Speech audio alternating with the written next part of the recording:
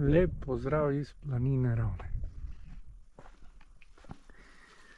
Zdaj, če ste gledali že kakšen video, sem se sem odspravil s svojim starim oldtimerjem, avtodomom in in zdaj grem pa nekam na kakšen hrib. Že dolgo nisem bil visoko gorju, na zadnje na Kumu in to je bilo kar več kot 14 dni nazaj. In ja, bo treba malce noge pretegniti. Zato danes nimam nič prav posebej plana. Tam piše Molička planina in tako naprej, nekaj bom tega se pospel. Sem pa že jaz to vse v to bil, tako da ne bo to prvič. Kak daleč bom pa prišel, bomo povedali. Ja, zdaj še gremo pa tule tam do njih markacij. Tule je lepa koča. In potem lepo gremo naprej, ne. Sem pa jaz danes pozabil na palce. Mislim palce pohodniške v avto so zostali. No, da vidimo, kaj tukaj gor piše. Tista, kaj je najmanj, bom verjetno šel. No, več kaj, ko bo pol ure, pa si bom šel. Mi je tukaj na koči prijazna gospa dala malo navodil. Da je bolj pametno iti po tej poti. Tja in potem nazaj. Se pravi na veliki vrh, zelene trate pa dolge trate. Zdaj, če sem si jaz to prav zapomnil. Imam navadno bolj tak tak spomin. No, zdaj upam, da je že to pravo, da ne vem že na začetku. Z glajza bo domač povedano. Ja. Tule še ni markirano. A je, je. Zdaj, če je to markacija, ali je to meja. Mislim, da so to markacije. Tu sem že jaz hodil, ampak če po pravici povem, to je že dolgo, dolgo nazaj. Aja, tamle pa je ta prava markacija. To je nazaj že sigurno ni 6-7 let, če še ne več. In potem človek, ko veliko prehodi, ker v tem obdobju sem s Kamniško-Savinjske cele prehodil in potem že pozabiš. No, evo, in kar lepo gremo. Prišel sem že do prvih kazosmerov. Ne vem, če ste opazili, zdaj 1520 metrov.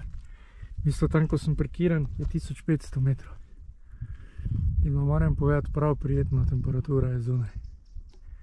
Evo in zdaj bom šel verjetno na ta veliki vrh in in se potem lepo vrnil nazaj po krožni poti čez tiste trate zelene pa dolge. Mi je gospa povedala. Potem se tule pride do tega spomenika, ki je dol napisano. Tu imate lepo klopce. In če vidim kar naprej. Prav smo je zadihan. Se pozna. Malo predolga pauza. Ampak kaj čemu. In odprl se je že lep pogled in prišel na križišče na 1840 metrov. Zdaj bom šel tukaj gor na veliki vrh. No, tukaj pa hvala Bogu signal. Tamle zadaj se krvavec vidi in verjetno iz krvavca vleče. Verjetno pa res tu dol zdaj ni interneta zaradi tistih poplav, še menda niso nič porihtali, pa že leto dni od tega. Nič, zdaj pa tukaj gor na veliki vrh. Tu se spet razcepi Molička planina iz Strica, Ravne in pa ta velika zelenica po veliki vrh. Po poti srečate takšne jame, tako fajn zahladi ven. Ja, prav sem imel, po tej poti še jaz nisem nikoli hodil. Ker ta pot gre zdaj nekje tukaj gor. Tamle sem prej nekaj markacij videl, ja, tu gor. Jaz smo iskala to pot, nismo našla. Prišla smo pa tam preko. Tukaj imajo jamari kočo, se mi zdi. Eh, tisto tamle bi pa menda lahko bile ute. Ono vzadnji je, je, je radoha, ja.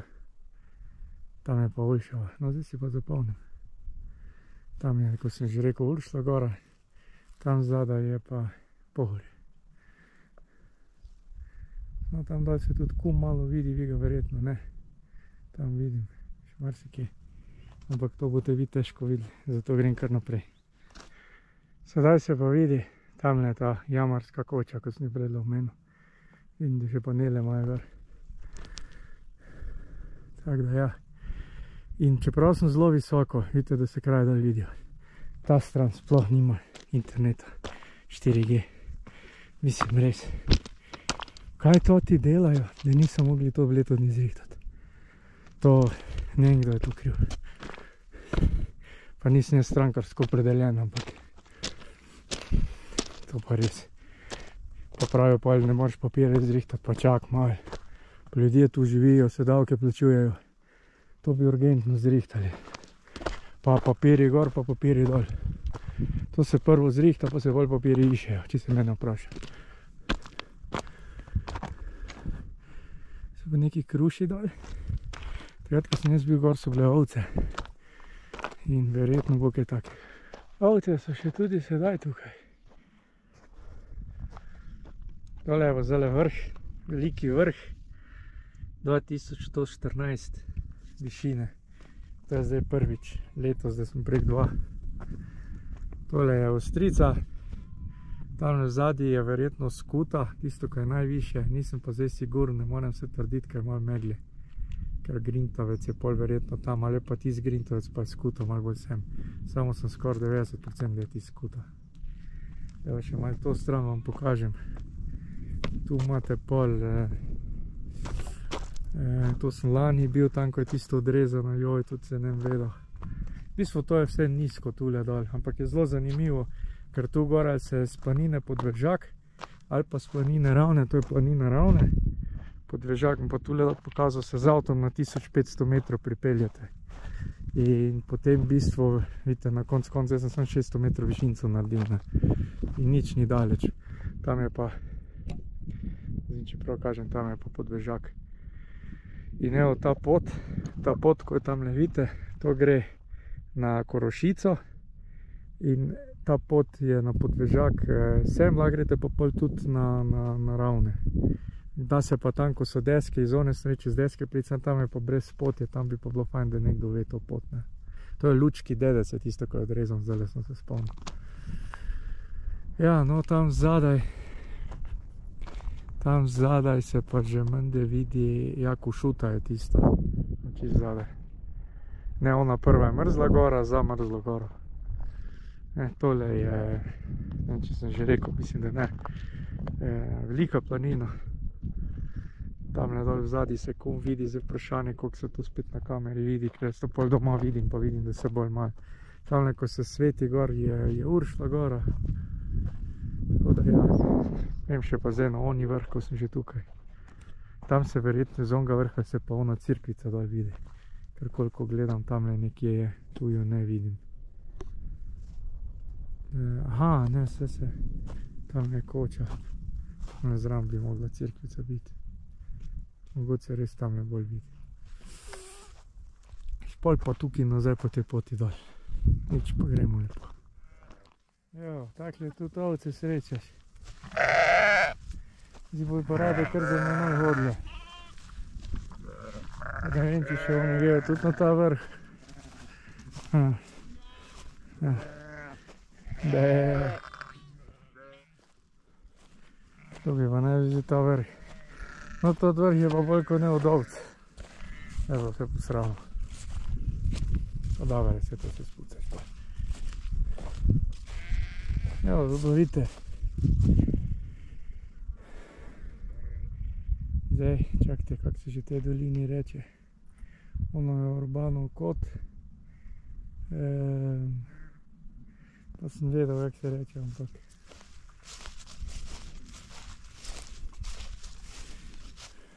Vse pa, ko bom dal kamero stran, sem pa spomnil. Vem, da se reče tako, so taki kmeti tu bili. Ja, še iz te strani. V bistvu se vidite, da tukaj sploh ni označen ta vrh, ker pač tu so gospodari ovce, ne.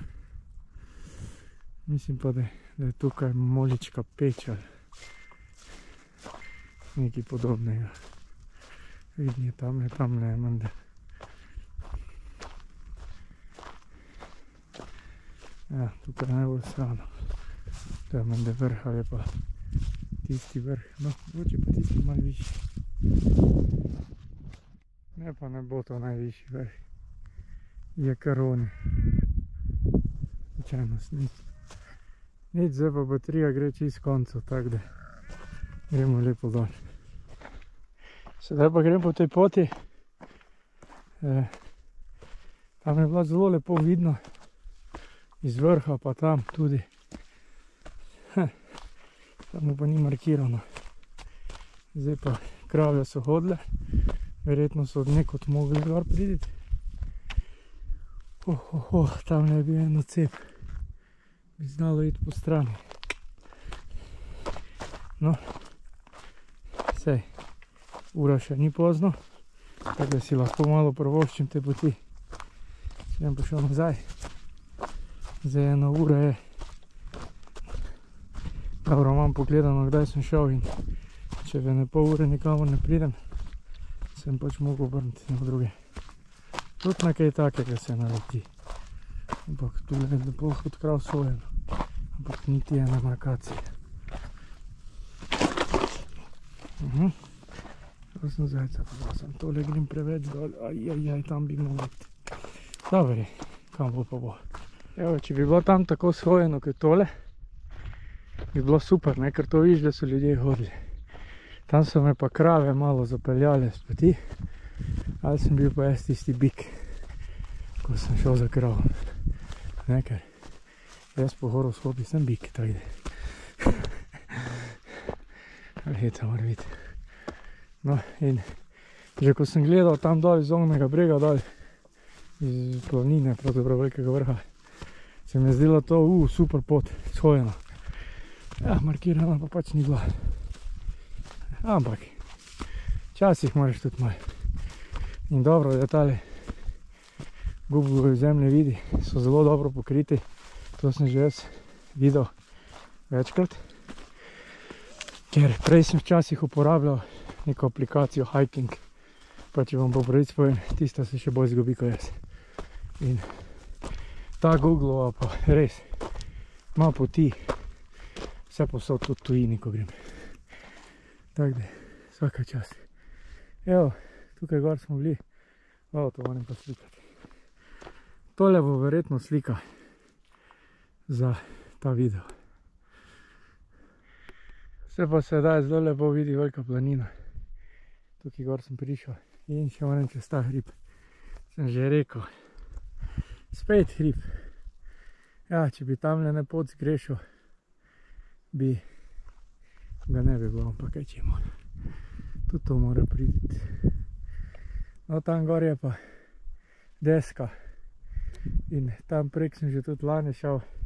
Se tam je tudi video, ampak nisem še govoril. Verjetno bom šel tudi letos jutri, če bom pri kodici. Pa bom še enkrat malo posnel pa razložil, kak se gi po poti. Nič, gremo zdaj naprej. No in vidite, tu bi mogel priti. Veliki vrh.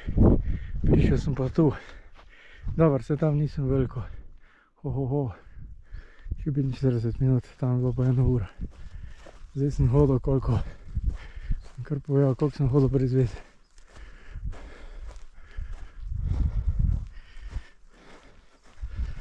Štirideset minut, petnajst, ja dobrih dvajset minut. Zdaj pa kar po navigaciji šel, ker zdaj ne vem, ali se gre čez oni hrib tam ali tu. Ker tu spet ni nič označeno. Evo, ravno ko smo gasno, sem še pa videl eno.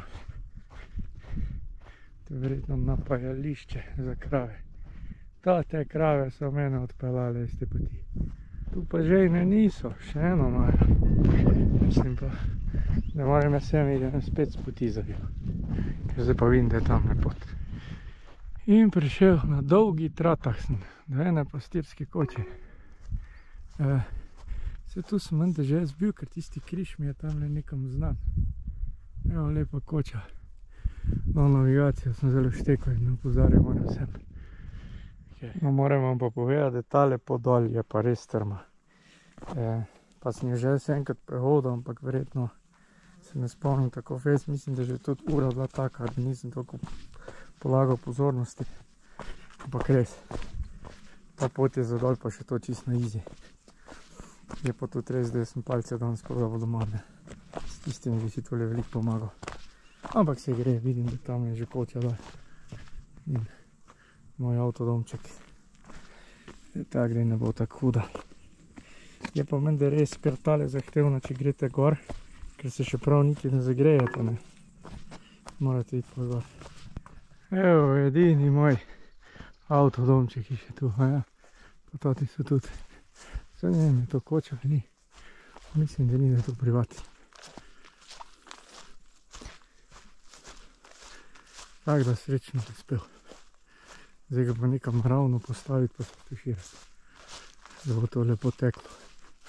Tam kot mora. V rezervar. Nič. To bi bilo to za ta video. Če bi še radi kakšnega videli in niste naročeni na moj kanal, se naročite. Če vam bi všeč, lajkajte. Da še imel smo večje veselje. Snemat, ker hodim tako okoli. Pa še pa lahko vidite kakšno moje dogodivščine in kak namik za kakšen lep izlet. Tole drugač ni tako dolgo trajalo. E, tale pohod od dveh, res da jaz sem tam nekaj še po telefonu vmes delal, pa to, ko sem do signala prišel dveh do sedmih, pet ur, ampak ampak sigurno eno uro, štiri ure maksimalno sem bil. No, pa lep pozdrav iz planine ravne.